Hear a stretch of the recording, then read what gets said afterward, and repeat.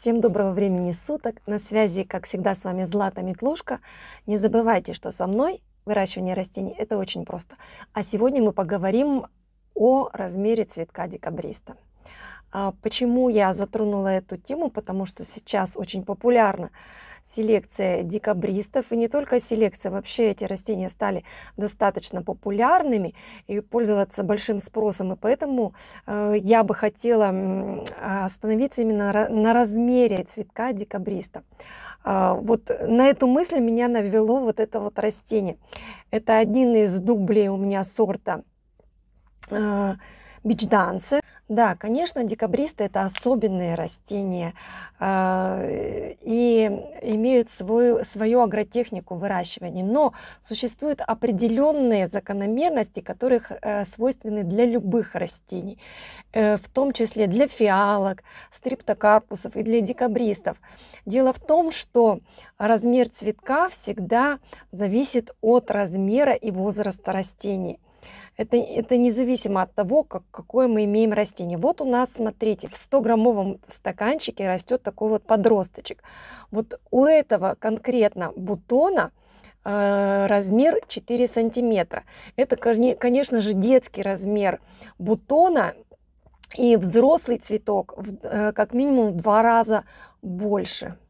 Поэтому э, судить, если вы купили какой-то новый сорт, либо вырастили какой-то сенец, то есть судить о размере цветка, например, что он маленький, да, что он такой останется, можно только на как минимум на второй или на третий год выращивания, когда уже это будет вызревший куст и взрослое полноценное растение, тогда вы можете оценить размер цветка. Исключение составляет, конечно, определенные сортовые особенности именно данного сорта. Бывает, что такие сорта, что уже на таком маленьком растении вы можете увидеть огромный цветок.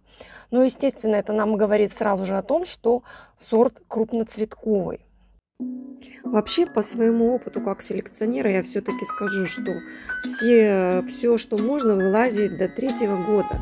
Поэтому в основном регистрация сорта рекомендуется после третьего года, когда уже все, что можно, цветок проявил, все свои оттенки, все свои возможные раз, размеры, варианты цветения. Только после этого стоит уже регистрировать сорт.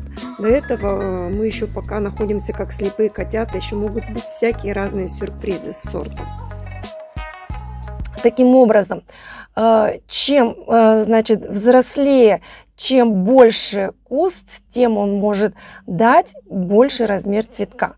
Поэтому не стоит расстраиваться, когда вы купили растение вот на таком кустике, растет маленький цветочек, хотя по описанию или по сортности размер его должен быть больше. То есть в данном случае не стоит расстраиваться, а дождаться как минимум, чтобы у вас уже вырос хороший куст, поскольку я не забываю повторять о том, что вот это вот все вот эти сегменты, они кормят, э, то есть зелень, она всегда кормит растение.